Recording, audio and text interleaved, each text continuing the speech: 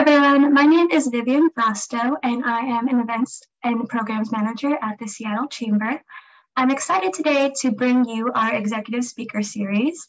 Today, we are bringing together and recording with three experts in the field. Um, we will be talking about the region's outdoor recreation industry. Um, including the successes, challenges, and opportunities our, later, our leaders have seen in recent years. Um, before we dive in, I would like to thank our sponsors, Advanced Professionals Insurance and Benefits Solution, as well as Business Health Trust. And I do have a short video here to get us started from Mei-Ling Slaughter of Advanced Professionals.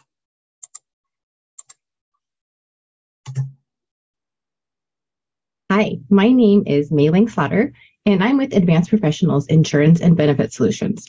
Our practice is the Wholesale Benefits Division of Newfront, a growing insurance brokerage that is located right down the street from the Seattle Chamber offices. Our division works specifically with small businesses, providing employee benefits through associations such as the Seattle Chamber.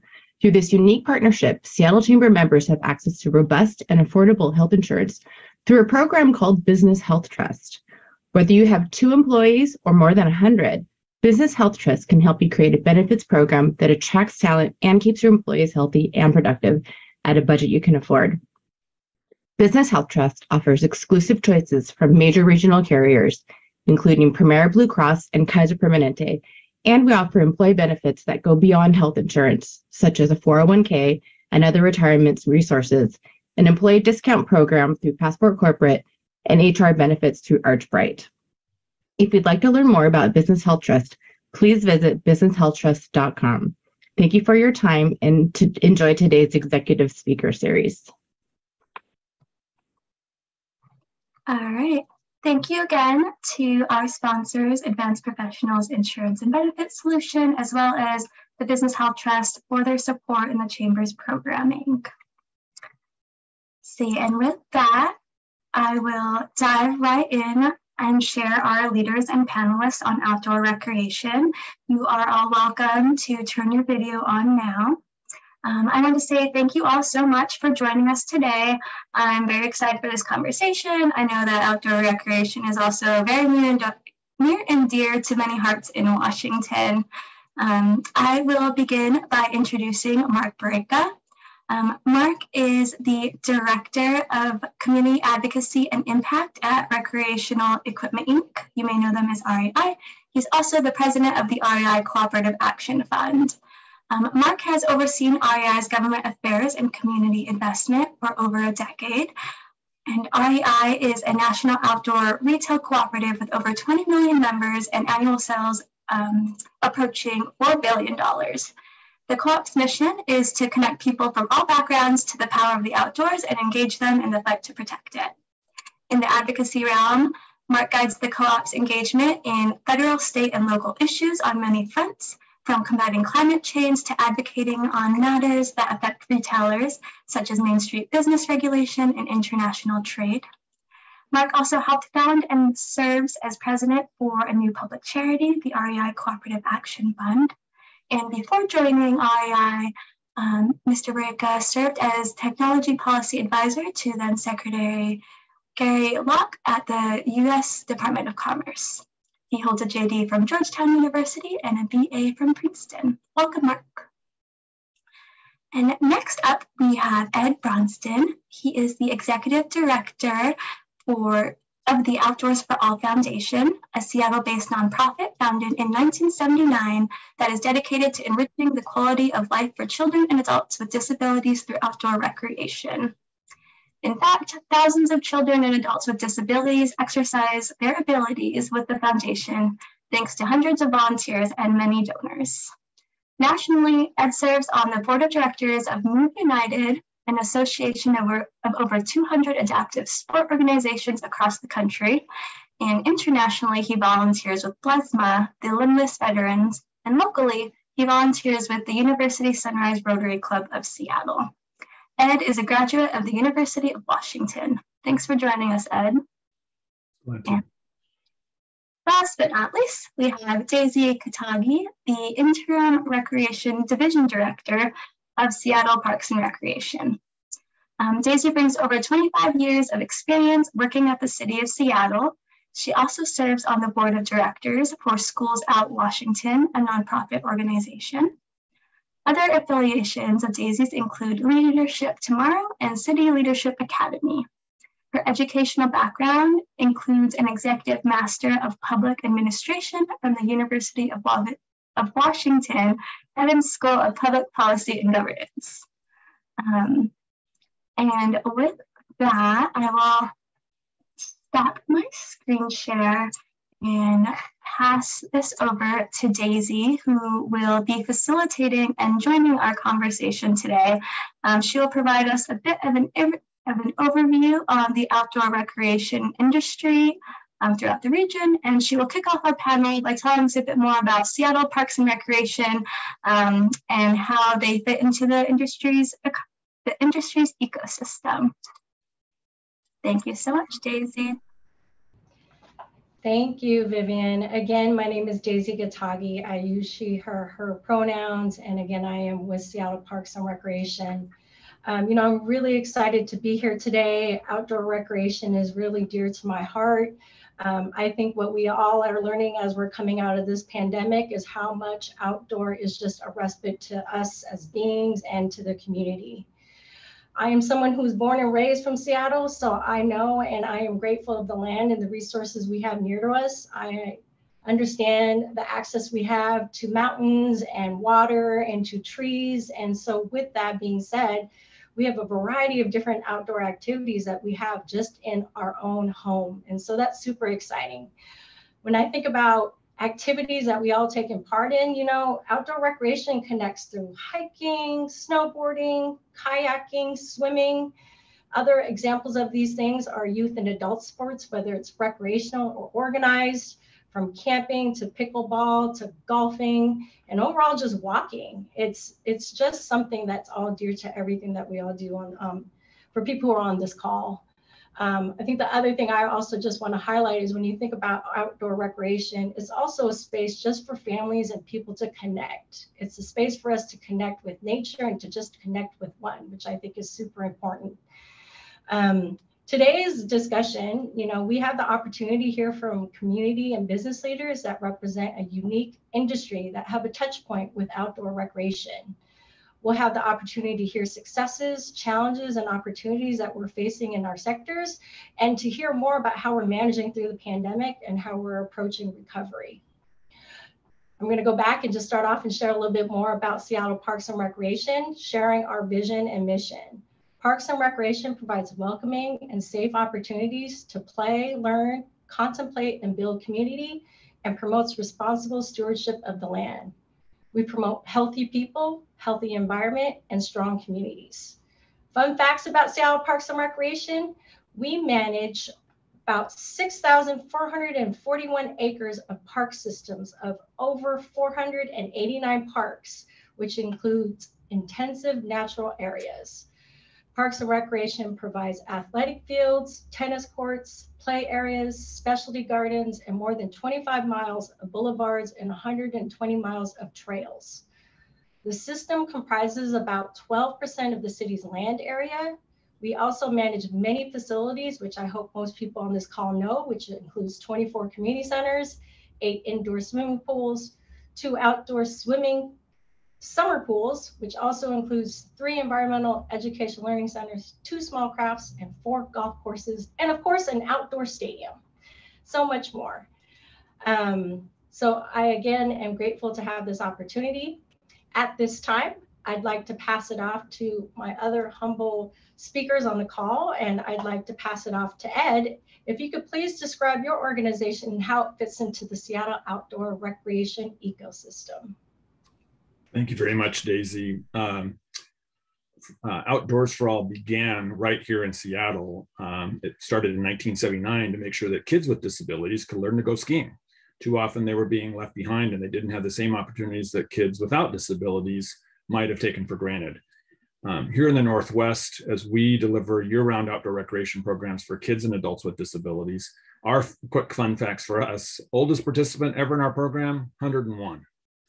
Uh, he uh, was a veteran of the world of World War II, and he was rock climbing about 18 feet up on a rock climbing wall after losing his sight. Uh, youngest participants typically are age five, so it's as young as age five and all ages, all disabilities. It's all about getting people out and active. I think in the last two years, especially, we have felt more socially isolated. We have been looking for ways to stay fit, and we've been ways looking for ways to, to foster our own mental well-being and being able to do that in the community with other groups is very much what Outdoors for All does. When we're doing uh, talks like this, even without the shameless promotion for REI, commonly what we'll do is what people will say, well, what, uh, what activities do you offer? And I say, do you ever shop at REI? Heads nod. And we say, well, that's what we offer. We don't sell the equipment, but we make sure those activities are accessible to people with disabilities. And then speaking to collaboration, our main branch headquarters is uh, based in a Seattle park, Magnuson Park in North Seattle, right on Lake Washington, right across the street from the Burke Gilman Trail and a mile and a half from Seattle Children's Hospital. So we started with collaboration with the ski resort back in 1979. We work with over 100 partners a year to make sure that the outdoors are accessible to people of all abilities. Thank you, Ed. I'll pass the mic over to Mark. Uh, thank you, Daisy, and thank you, Ed.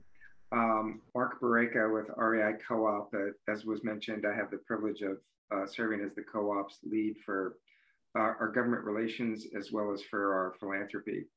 And uh, I, I, do emphasize that it's a privilege because uh, the, the, co-op was, was born in Seattle um, in 1938 as, and, and very much deliberately as a co-op.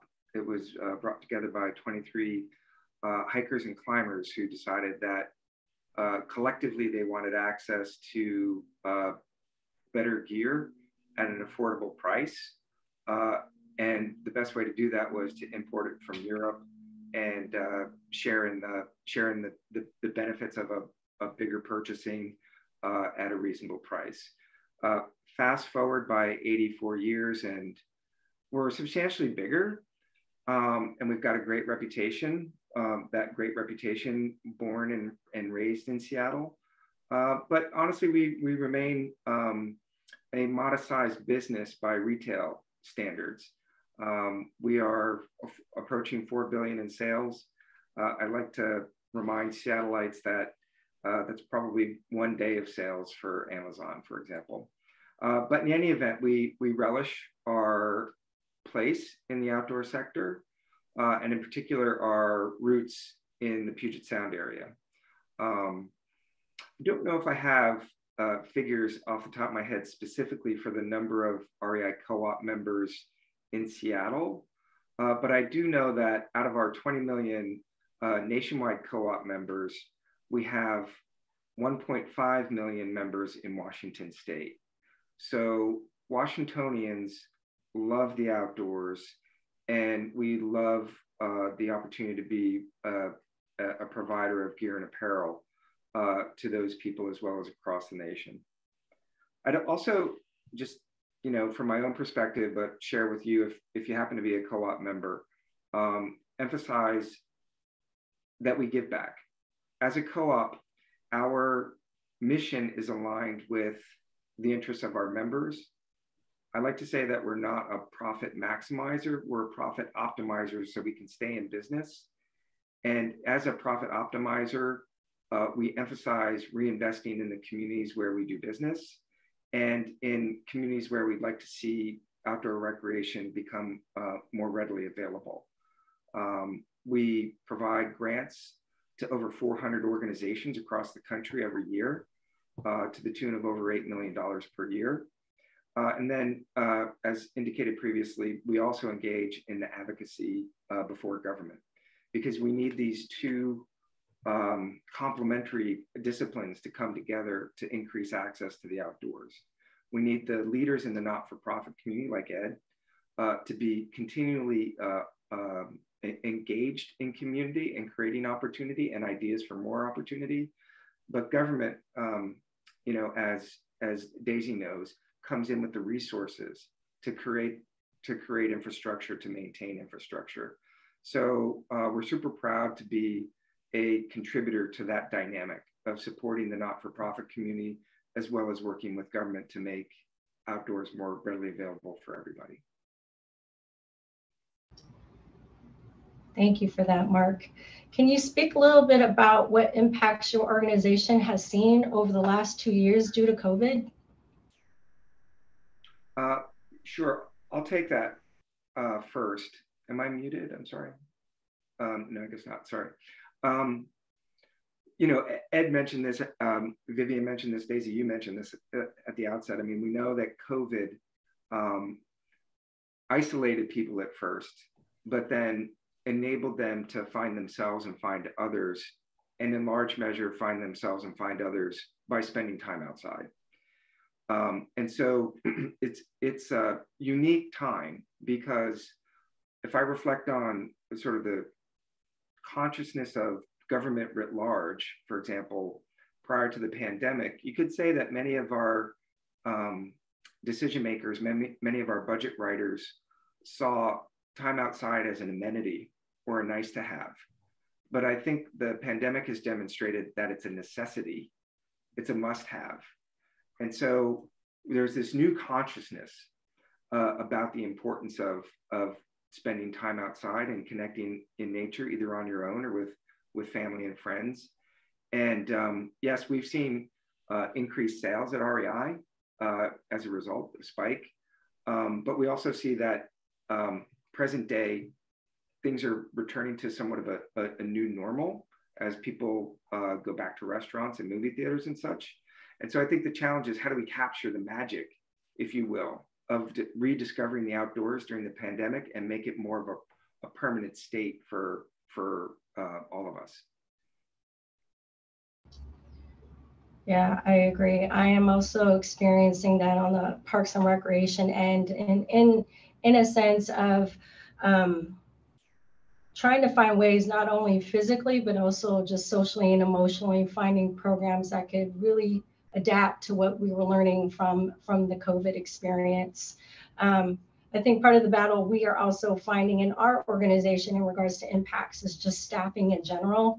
I think right now we're having um, we're just having to speak where it's a it's an opportunity for people to find professional growth an opportunity to bring new people to the field, um, but also it's difficult to recruit and maintain and onboard all of that at the same time. Um, Ed, are there anything other trends you're seeing in this speak? I'd love to hear a little bit more about how impacts in your organization have been seen also as well in the last two years due to COVID. Yeah, it's it's amazing to see. I was, you know, stating before we started the call, a year, two years ago, we shut down everything. We had to public health parameters said we could not do anything in person. We didn't know, and there was a great deal of fear. And of course, many people were dying as a result of the pandemic. Now we've learned so much in the last two years. Vaccines are working, uh, health protocols are working. And as a result of that, our organization, we're kind of, we talked about it's basically like all the circuit breakers switched off. And now the dimmer switches are coming back online. And thankfully, most of them are fully back online. But the, the real social isolation that happened in the early stages, that's still damaging to people's mental health and well-being. And today, what we're finding is that being outdoors is not only physically a safe way to be active despite um, circumstances, but it, just what it does for your own uh, physical health, for your mental well-being, and your connections with other people. One of the things I love to do, and I'm ta- when I'm talking with folks, is you know, well, what are some of the activities you like? Well, I love downhill skiing. I said, what were some of your favorite activities? Well, I was out with friends and dot, dot, dot. Or do you remember the feeling when you first learned to ride a bike, how you failed and failed and then eventually got going and were able to do it? Yeah. Did you do it alone? Nope. It's almost always where we're doing it and sharing it with others. And that's really the magic that we have found at Outdoors for All. We didn't just find people with disabilities and their families who were crying out to be out and active again. But we had so many volunteers who were just saying, we want to give back. When can we give back? And thank goodness we, we've been able to foster those connections again and, and get people out and active. So the, the, the disruptions continue to a degree, but our ability to adjust and be resilient to work through that and make sure that at least we as an organization stay committed to partnerships to make sure people with disabilities have access are profound. And we're going to keep doing that. So um, uh, that's kind of, that's two years in a nutshell. right, and we're we're still trying to recover. Yeah, um, no, it's not over it's not over. Um, you know, I, I think about as um, we're in the state and we are moving towards a path of reopening programs. Um, this is going to lead into the next just panel discussion in general. Is I'm finding that it's an opportunity for us to reimagine the work, really reimagining what Parks and Recreation can look like. Um, and as a department, we are in this space where we recognize that programs that we were offering prior to the pandemic, not all of them can proceed the way it was as we're coming out of this. So, what are some of the new ways we could evolve, whether that includes like virtual programming, um, whatever that may be? But I'm finding it's an exciting time to really just reimagine what the work can be.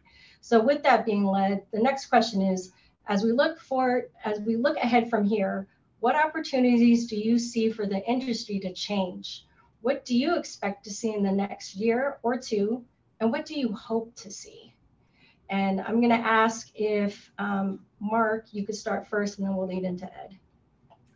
So, um, you know, the, the past several years feels like several, maybe it's just two and a half have been, you know, dramatic because of COVID, yes, but there, there are other, there are other events that have been uh, profound for America as well. Uh, and I and I think of the murder of George Floyd and how it sort of brought to the surface uh, in a very profound way. And I don't mean to just uh, isolate that one instance because there are plenty of instances of of uh, racial injustice in, in killings um, uh, that caught headlines over the past couple years and, and even before. But um, if there was a COVID crisis, I'd say there was also a crisis of or a, a, moment of racial reckoning. And for the outdoor sector, for the business sector, uh, and in particular for REI Co-op, I, I, think it was a moment to to come to terms with uh, our our our nonfeasance. Sorry to throw out a legal term, but I started as a lawyer. Nonfeasance means, you know, you didn't do anything. You know, maybe you didn't do anything wrong, but you might not have done anything right either. You might have uh, perpetuated structural racism, to be blunt. And so uh, the, the co-op, the sector, I think are uh, more aware of that dynamic than ever before.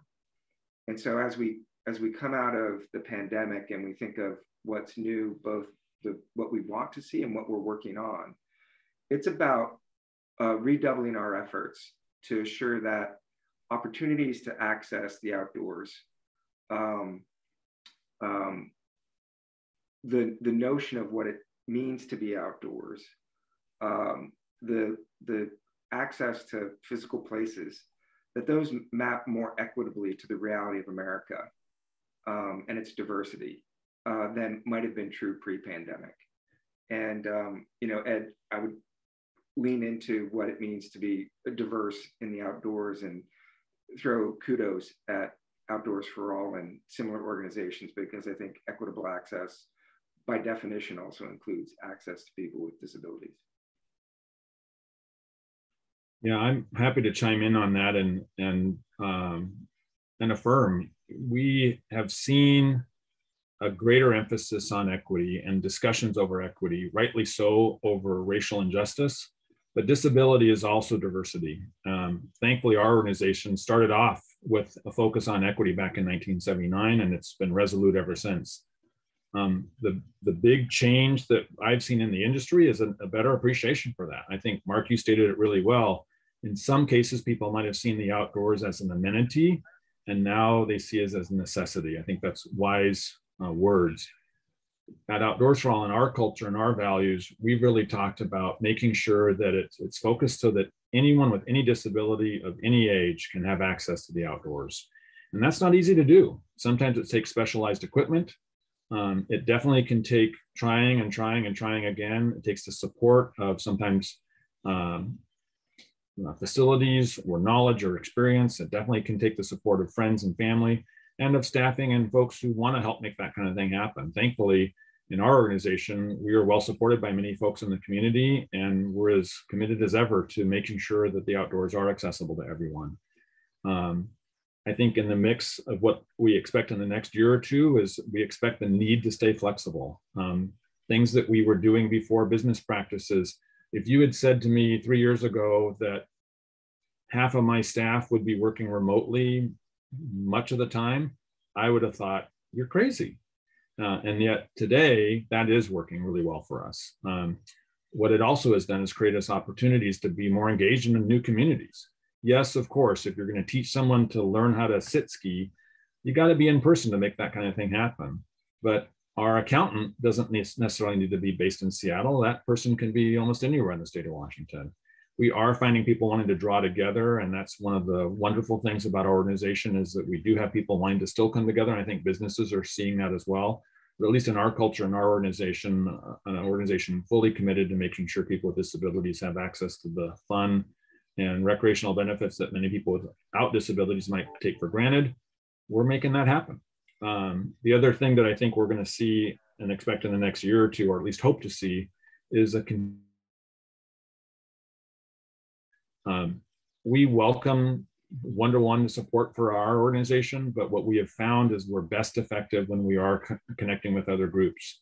Um, in my background photo here, um, you see Seattle Parks in action, you see the Mountaineers in action, the rock climbing individual. Um, that's at a wall that the Mountaineers put together. Uh, you see us skiing up at, uh, in the Cascade Mountains, and we partner and collaborate with two ski resorts. Um, we work with different organizations from military bases to hospitals to businesses, et cetera, because we can't do it alone. And oftentimes it's not just about the connections we might be able to offer for someone with disability.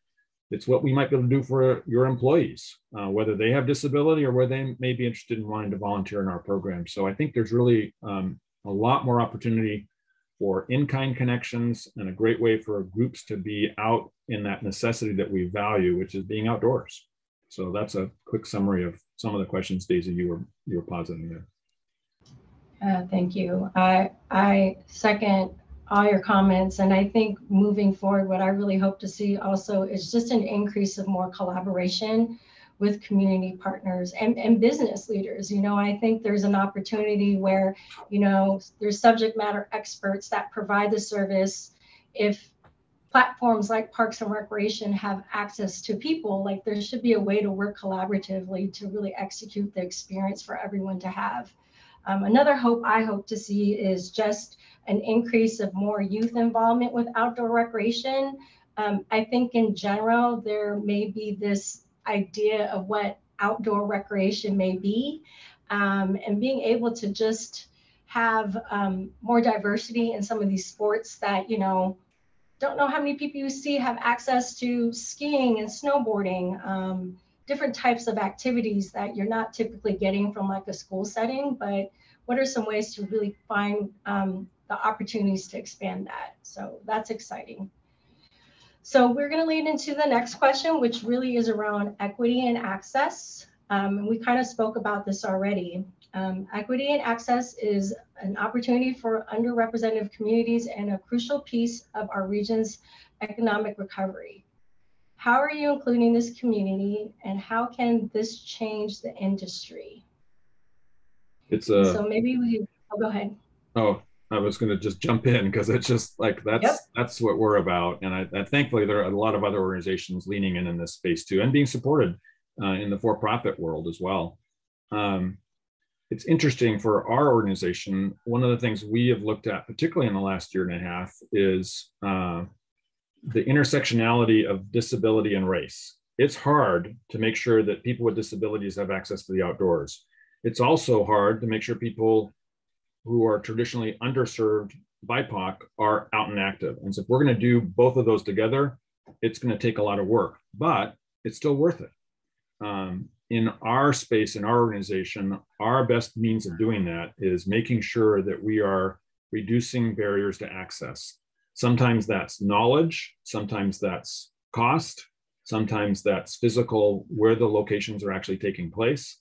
Um, and one of the ways we do that is, like I said, through collaboration, but also through our mobile fleet of adaptive recreation programs. So uh, this past Sunday, we did a pop-up event in Fremont. We're normally based our headquarters in uh, Northeast Seattle. So we headed off to North Seattle uh, brought a trailer full of gear. Uh, we were well supported by U Park Parking. They just made their parking lot free and accessible to us. And we were able to make sure that people who wouldn't have otherwise been able to access us uh, were able to get out and active and try out a sport. Um, behind me is a photo of a, a girl uh, in a pink jacket. Uh, her name is Patricia. We don't see Patricia active in our programs anymore, but that's a fantastic success. And here's why she was able to access our seven days a week free adaptive cycling center, which the Seattle Department of Transportation and private donors support. It's available with access over to 250 different bikes, hand cycles, side by side tandems, rec- uh, recumbent trikes, standard trikes, therapy trikes. All of those are available for free, seven days a week, May through September, because of these kinds of supports. But the reason we don't see Patricia anymore is not because she's not cycling, it's because she now has her own bike. So she was able to come out, try out different activities. I will never forget because as soon as she started pedaling, she just started squealing. She was so excited to be out and active. Uh, Patricia lives with cerebral palsy and uh, now lives up in um, outside the Seattle area. She lives in Bellingham, but she has her own bike. So she can go cycling whenever she wants to. She gets to make those choices when she wants to. And that really supports our vision that people of all abilities should be able to get out and be active in the outdoors whenever and wherever they want to. So, um, how that gets focused on equity is making sure that um, organizations like ours and other organizations that are committed to make sure the outdoors are accessible to everyone work together. And I think that's going to be an increased focus going forward. So I think that's uh, a, a, really insightful or, or inspiring um, sort of deep dive into the, the workings of a not-for-profit. Um, at, at REI as a co-op, but still for-profit, um, we recognize that if, if greater equity is where we want to end up, the one of the most important things is to start close to home in our own operations. And so uh, we have uh, an initiative uh, well underway now, racial equity, diversity, and inclusion. It's multi-pronged, but it starts with uh, awareness raising and education uh, within our uh, still predominantly white employee base about um, the, the value of diversity in the workplace, the, the importance of of inclusion and an inclusive mindset in all its dimensions. Um, and then uh, I, won't go go over all the facets of, of the initiative. There are so many, but um, it does extend to hiring and understanding uh, that the, the workplace itself needs to evolve if the outdoors is going to evolve. Um, to Ed's point about working remotely, our ability to work more and more remotely means we can fill jobs from around the country um, with people from around the country who might not even uh, relocate to Seattle, but might feel more comfortable uh, staying closer to their original homes.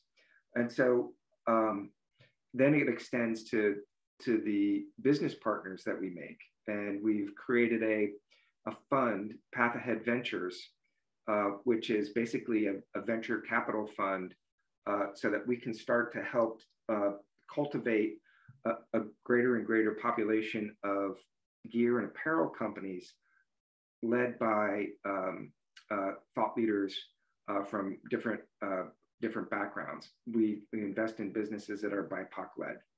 So it's, it's it, each of these layers, if you will, where we're trying to in, increase the um, consciousness and also the actuality of, of diversity in the outdoors. And then uh, we layer on top of that the work of my group, which is in the philanthropic and the government affairs realm, uh, which is to say, yes, we need to provide uh, seed funding, not just to the um, um, businesses, but also to the not for profits that are making the outdoors uh, more accessible and uh, support government agencies and, and, government programs that do the same. I guess the, the last piece I, I share about this uh, widespread initiative is we know that the outdoors, even if it is physically accessible, also has to seem welcoming or, or be welcoming uh, to people of different backgrounds. And, and, and that's a cultural thing uh, in, in, in many respects.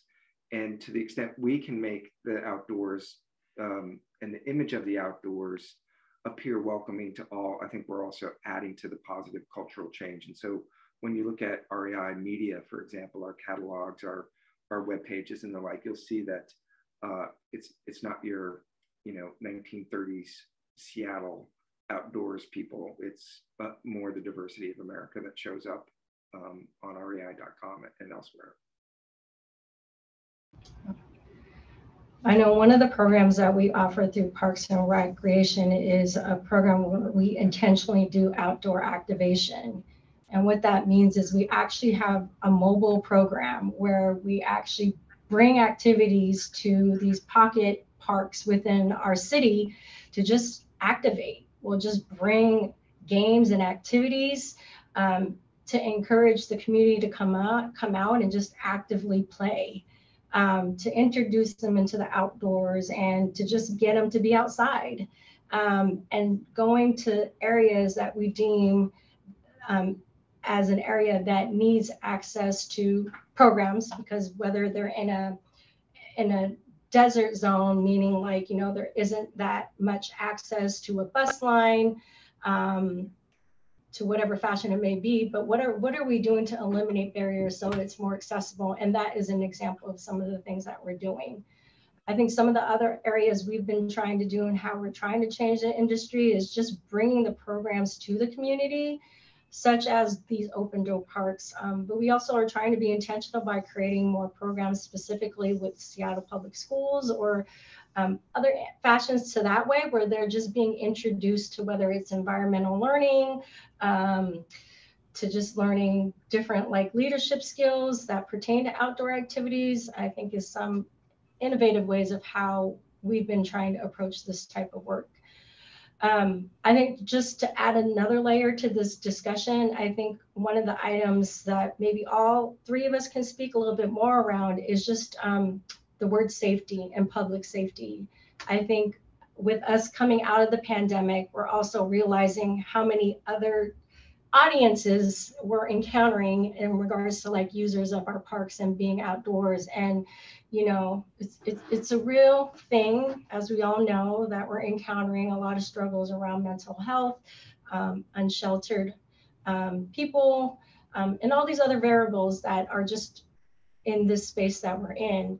Um, I would love to hear a little bit more from Ed and then Mark about just how, how are you guys approaching that work and whether it's something within your staffing structure, um, how you're thinking about protocols and, and operations in regards to how you execute programs. Um, can you speak a little bit more about that?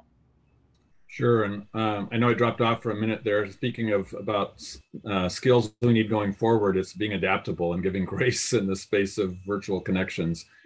Um, I think back to two years ago when we literally shut down our in-person operations for six months. We began our virtual yoga classes and other kinds of programs as soon as we possibly could. But in the early stages of the pandemic, we didn't know what could be done. And so as an example, we started a Bikes to You program, which has continued to a degree today. We started making house calls. And what we did was we took adaptive sports equipment, usually adaptive cycles, so that's the Bikes to You side of it. We sanitized all of the gear with spray alcohol so we wouldn't damage the equipment in sports. We got some very good clean chains out of the mix, by the way, and uh, went about uh, delivering adaptive cycles for free to people throughout the region and made sure that they could access the bikes uh, and use them in their at their own homes. Um, that required that they would have either sidewalks or a park or trail or location that would be nearby that would work or a parking lot or something. But it was really super successful for us.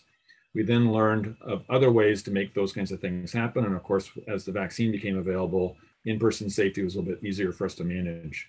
But um, we've been focused on safety since we began because we have been taking people who are paralyzed up on chairlifts, uh, which can be very slippery.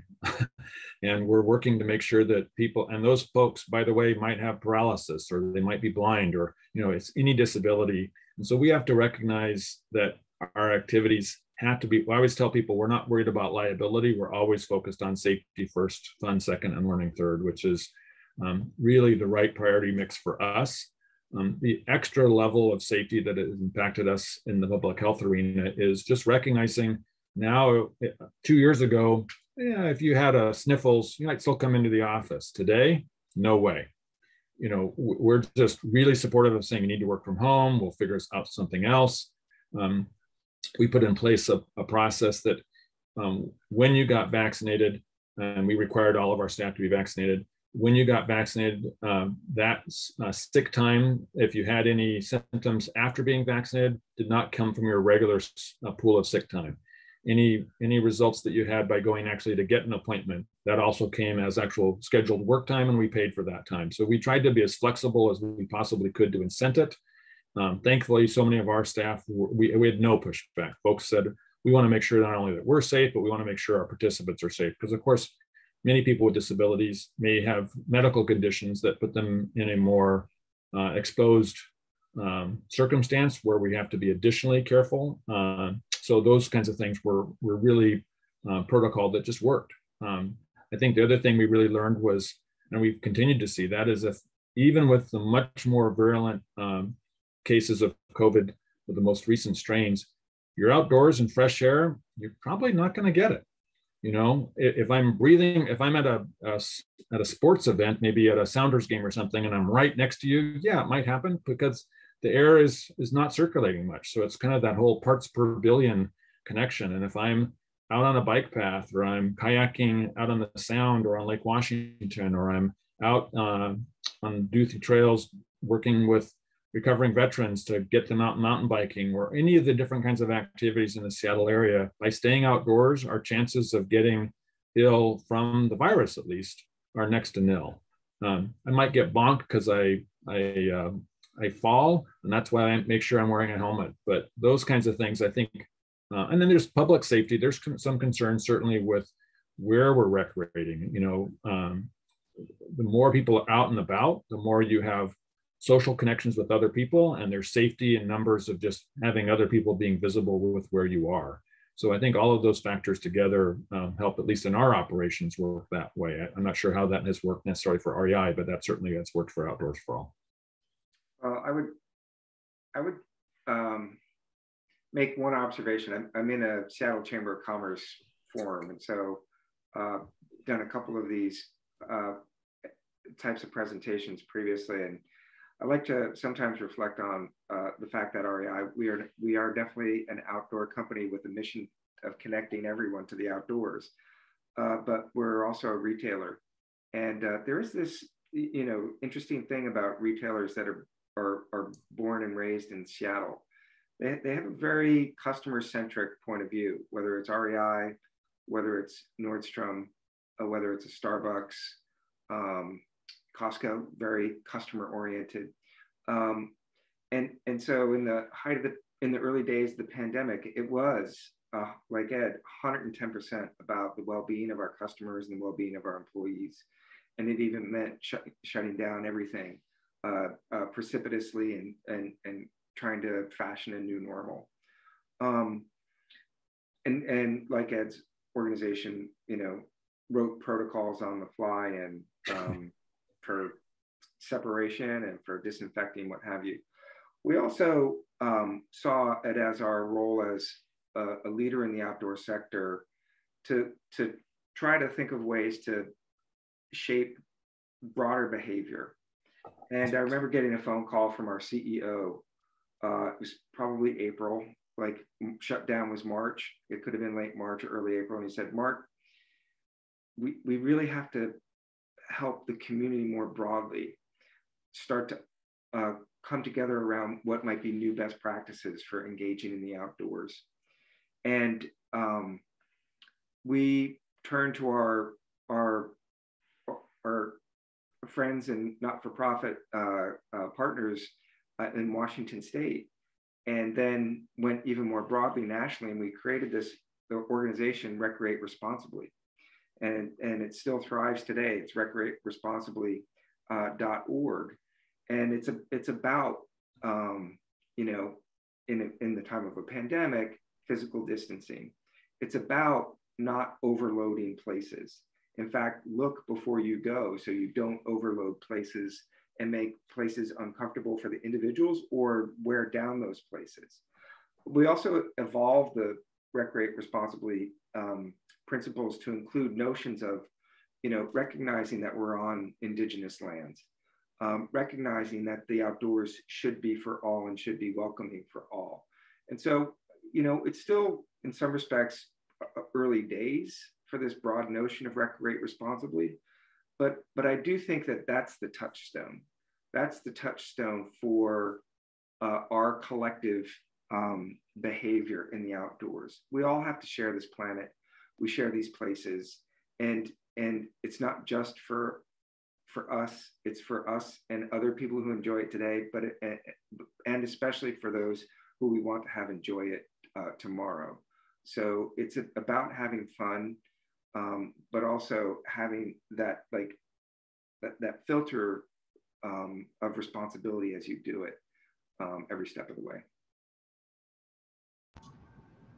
Yeah, and I find myself um, recognizing that it's important to encourage like employees and staff to go outside, and enjoy outdoor recreation. Like, I think what um, the teleworking is creating also is just like, are you being mindful about how long you're sitting and, and being in front of a screen and, you know, creating space for you to be able to just take that break and go outside and just connect and um, get a breath of fresh air is, is also important as well.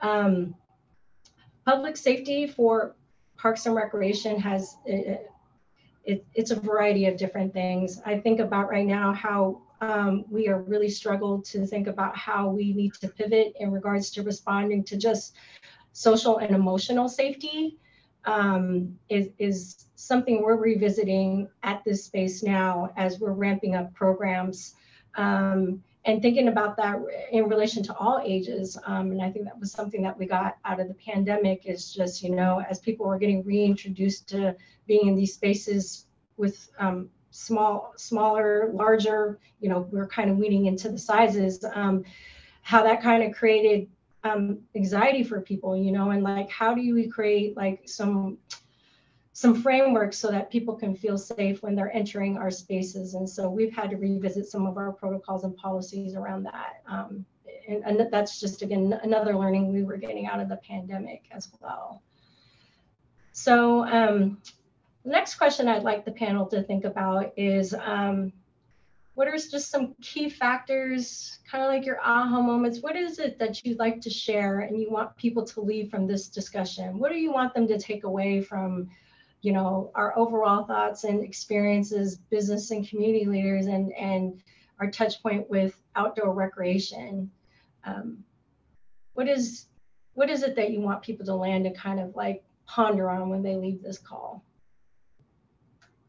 I'm happy to chime in if you want, Daisy. I see equity as opportunity. Um, and I think the idea that it's something we should be doing, yes, in, in some cases it does take a lot more work, but it's so worthwhile. Um, REI started with a small handful of people who wanted to get a good deal and a better deal on gear. Outdoors for All started as the Ski for All Foundation because it was focused on equity to make sure that kids with disabilities could have access to the outdoors and learning how to ski. And then years later, more programs were offered and, and expanded over the years. And what we've seen um, over the five decades of our operations and over the last two years is this idea that equity is not just beneficial to the individual that you're providing the service for, it is also beneficial to the person who gets to help provide that service. Um, our mission at Outdoors for All is to enrich the quality of life for children and adults with disabilities through outdoor recreation. It's focused on people with disabilities. The motto you'll hear us using in communities, shorter and a little different, and it's transforming lives through outdoor recreation. We use transforming lives through outdoor recreation because it acknowledges the reciprocity of service that comes when we are successful at pursuing and delivering on our mission. Because it's not just what it's doing for the participant, it's what it's doing for that family member. It's what it's doing for the volunteer, for the donor, for the community member. This last winter, when we were able to restore so many more of our on snow programs, if I had a dollar for every time someone from the chairlift was cheering down to say, go outdoors for all, you know, you really saw the community pride that took place by folks, uh, even if they weren't directly involved, indirectly they recognized, hey, that's a really good thing there. Hey, that is someone who is up climbing a rock face on a climbing wall, even though they may have limb difference. Or, hey, that is someone who lost sight and is out kayaking on Puget Sound. Um, hey, I've never ridden a bike before. I can't ride a bike. I know friends who have learned to ride a bike and they've fallen and it didn't work. Oh, a recumbent hand cycle? How does that work? Oh, oh, I, I can ride a bike. I just didn't have the right equipment. And then to op- open up those kinds of opportunities. It's as close to Harry Potter magic as it gets. And that equity is what we get to be a part of. And it's because we're connected with other groups. Uh, I'm again going to be a shameless promoter we don't get to do what we do without donors and supporters. REI has been a longtime supporter. Seattle Parks and Recreation, we've been recreating in Seattle Parks for decades. And like I said, our main base camp and headquarters is at Magnuson Park. I think we in the Pacific Northwest can see that there are opportunities not just for equity, but there are ways for us to collaborate and work with others. And uh, and we're going to keep doing that. So I know that's what we're going to lean in towards, and and I see nothing but success coming from that. We'll have some hurdles along the way, but we'll do it together. I'll um, add some more layers on top of Ed's uh, inspiring comments about the multiple benefits of time outdoors, time in nature. Um, in a in a different you know, panel or a different day, we might talk about uh, economics a little bit more deeply. Um, but one of the things that REI has helped to bring to the fore over the past decade is the fact that this sector, this sector of outdoor companies and organizations, um, we're a meaningful part of the US economy. Uh, federal government studies demonstrate that it's more than 2% of GDP which is more than mining and extraction, the act of mining and extraction. Um, nationwide, it's over 5 million jobs. In Washington state, it's over 200,000 jobs. Um, and, and so that's, that's another element of outdoor recreation um, and, and it as a necessity uh, because it, it also is a, a, a good supplier of jobs and also where you have outdoor recreation, you attract other types of businesses. So whether you're in Wenatchee or, um, you know, um, you know, Bend, Oregon or Leavenworth, um, you know, North Bend, you can you can pull in other types of businesses because there is a recreation opportunity. So we we need to recognize that benefit as well. But I, will come back to what where Ed was going and and Daisy, you started with this when you said that the outdoors is you know, good for our well-being. It's good for our communities. It's good for our planet. The way I um, try to capture that very same thought, uh, but with with a, a little like rhyme is the wrong word, but a little bit of a, a acronym, if you will, um, or a, a mnemonic. I talk about how the outdoors delivers against the health of our people, the health of our places, our communities, and the health of our planet. Plus, it generates jobs like if, if you have a sector of American society where you're you're driving health benefits for us individually as people, driving benefits for us as communities, as places, and driving benefits for the planet and contributing to, to economic well-being, then that is a necessity. Uh, it's not a, an amenity, it's a must-have, not a nice to have. And so I'm hoping that through the pandemic, there's been greater consciousness of, of this opportunity of this and, and that we seize the moment and, and integrate the outdoors more into all of our lives um, so that um, you know frankly daisy people who work in, in parks don't feel like they've got to scrap for the next you know uh, set of budget dollars to, for for maintenance but rather we've proven the case that parks are essential and and it's not a second thought it's a first thought yes I appreciate that. Thank you, Mark.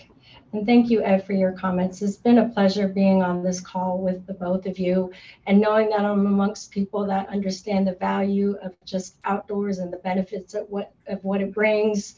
You know, healthy communities, healthy people in general, and just stronger communities, right? It, it all of it is something that braids into all of us and it's free. It's accessible to everyone. Um, so how are you capitalizing off of that? Um, so with that said, I'd like to pass it back to uh, Vivian. Yeah, thank you all so much for being part of this discussion, Daisy, Mark, and Ed. Um, I know that I have learned a lot just from sitting in, and I'm sure our audience will as well. It's great to hear that you know you have all been collaborating on the back end, um, and it sounds like you know, obviously the outdoor industry isn't going anywhere. It's here to stay in Washington. And um, it sounds like there's a push towards inclusivity. Um, and we are going great places. So thank you so much for being involved. I do want to take one last second to um, thank our sponsors for support, supporting the Chamber's programming. Um, thank you, Advanced Professionals and Business Health Trust. And I would also like to give one last plug to the Seattle Chamber.